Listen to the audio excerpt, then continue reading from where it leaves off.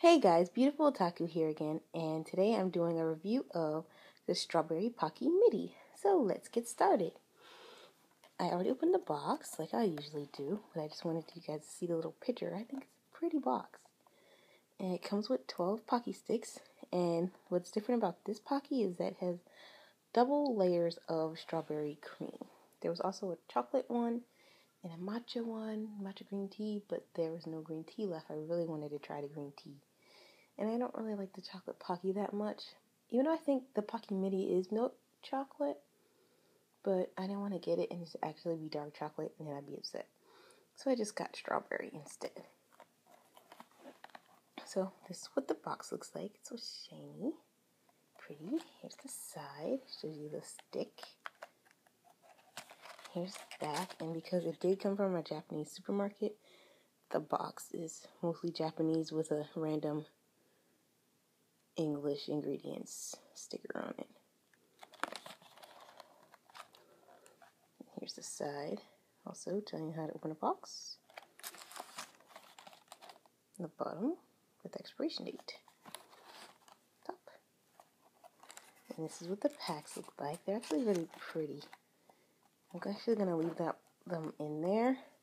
I have another pack because I had I did buy two boxes of the strawberry Pocky Midi, so this is what the packaging looks like on the inside. This is Pocky Chocolate Midi, even though this is the strawberry version.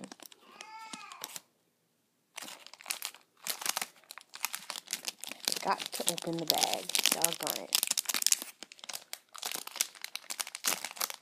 Luckily, it's easy to open.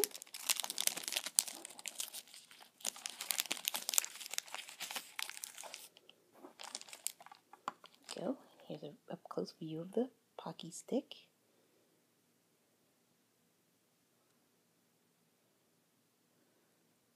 It's nice and short and fat. It's like speckled cream. Let's give her a taste.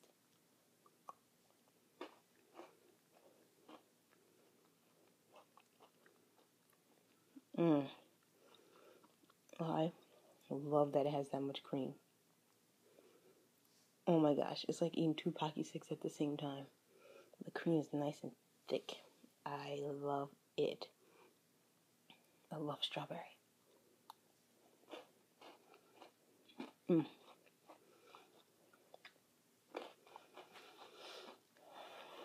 It's so good.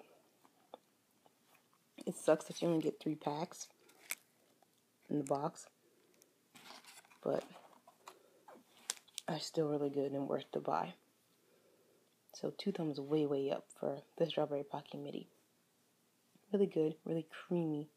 And you can still taste the stick. It's not like overloaded with cream. But it's nice and soft and rich strawberry flavor. Mm, yum, yum, yum. I'm to eat the rest of this pack when I'm done this video. So I hope you guys enjoyed this video. And don't forget to comment, like, and subscribe. Until next time, guys, beautiful Otaku out.